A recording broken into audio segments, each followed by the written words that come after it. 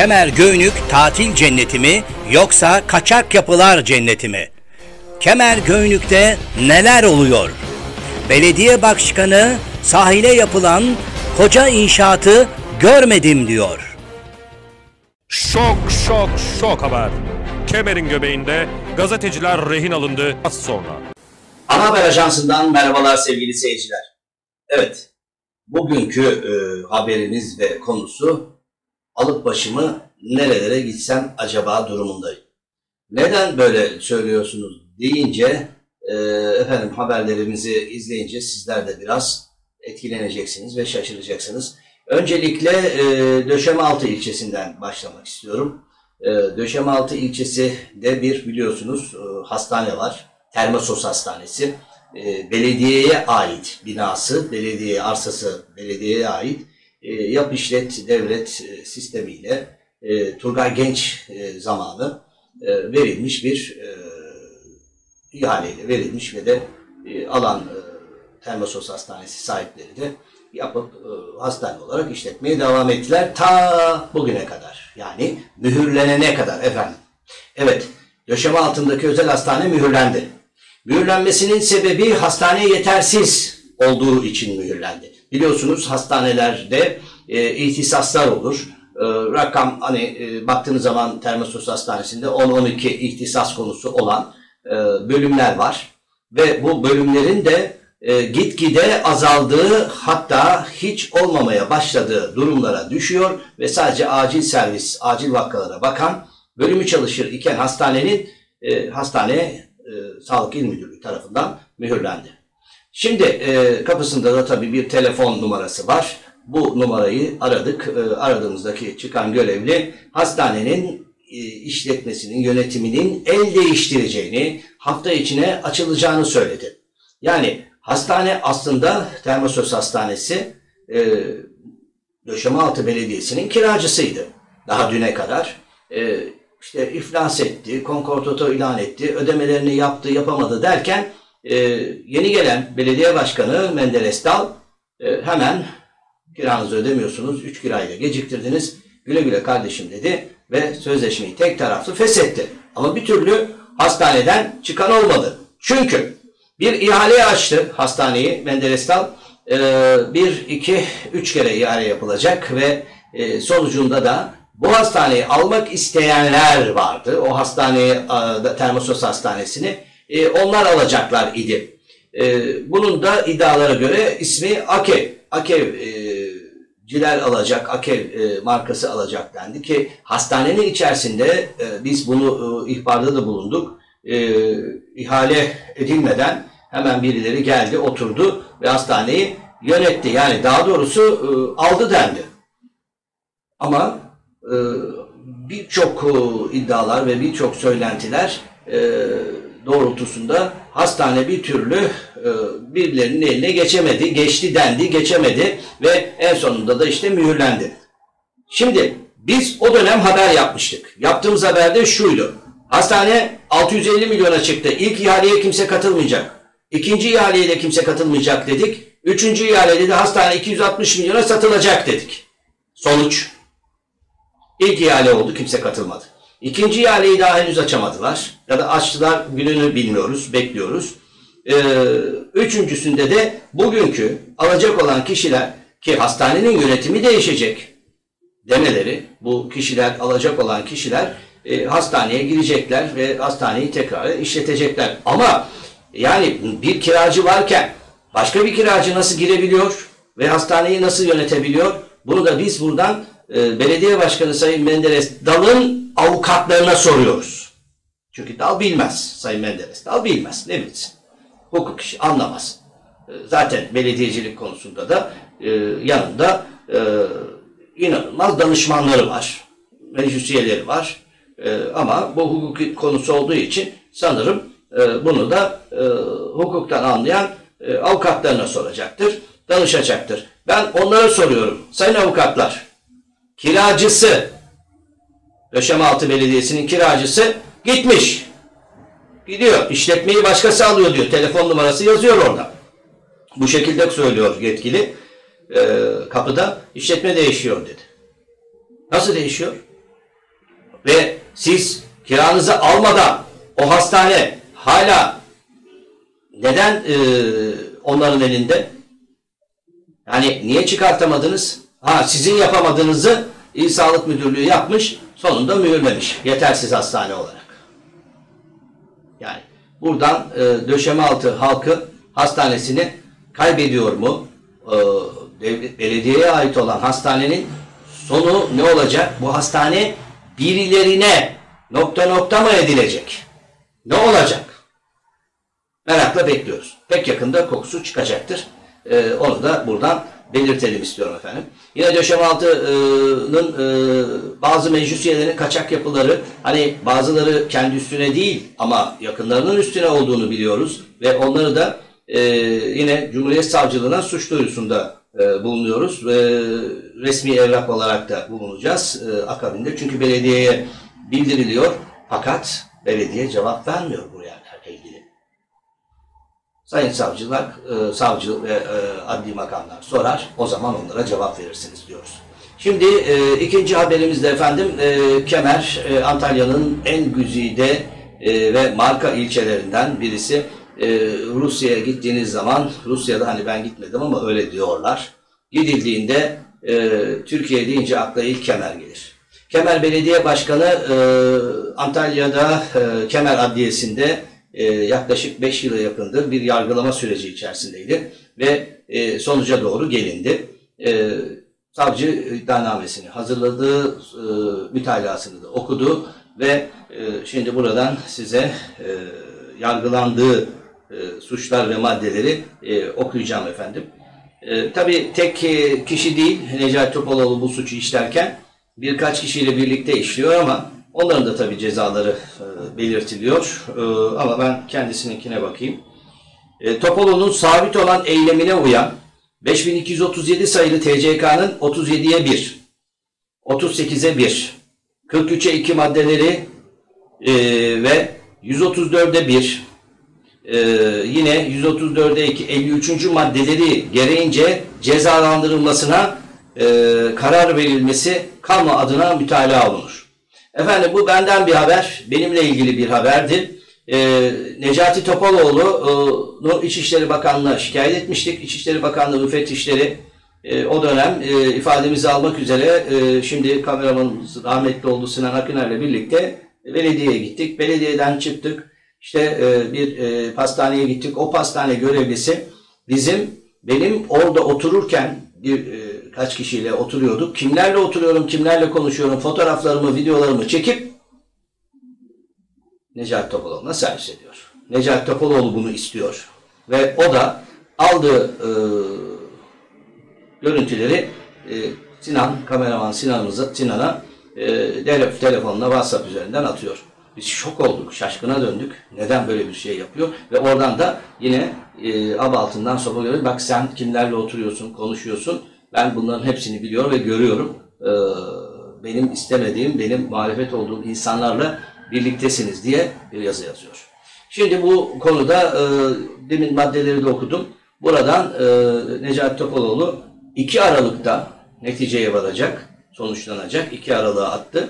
E, bu maddeleri e, tek tek de okuyayım. Neden bu maddelerden yargılanıyor ve bu maddelerin gerekleri ve cezaları neler? 53. madde efendim belli hakları kullanmaktan yoksun edilme yani e, seçme ve seçilme hakkı.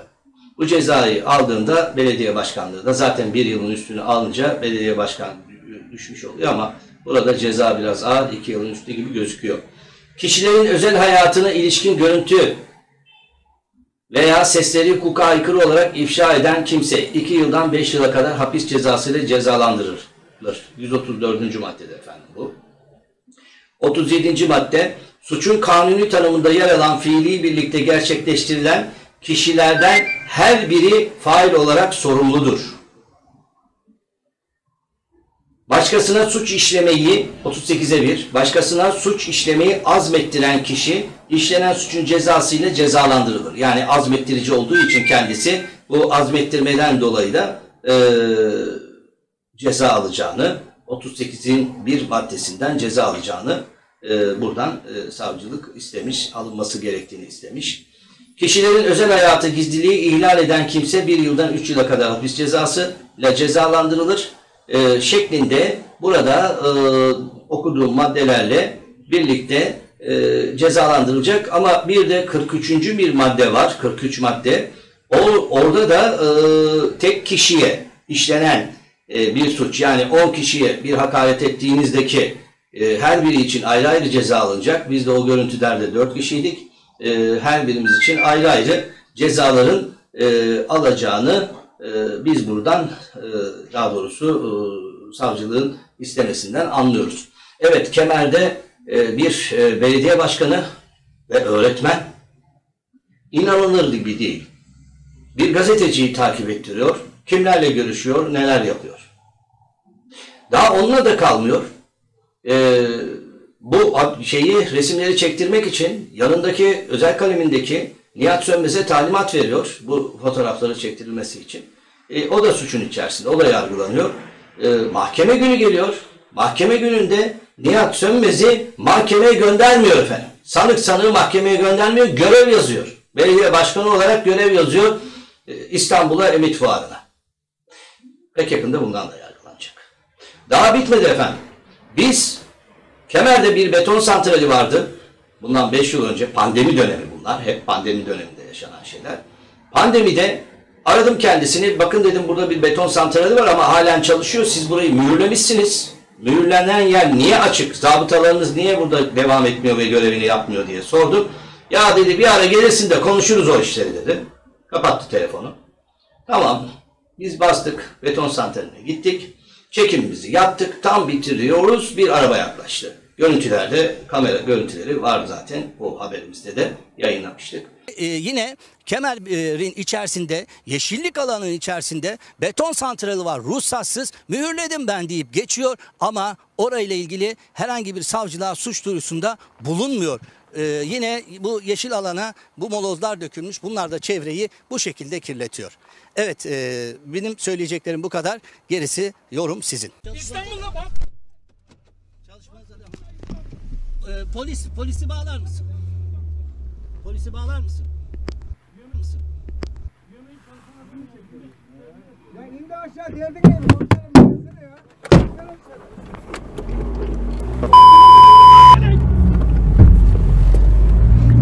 Arabaya saldırıyorlar. Evet gördüğünüz gibi arabama saldırdılar, arabama vurdular.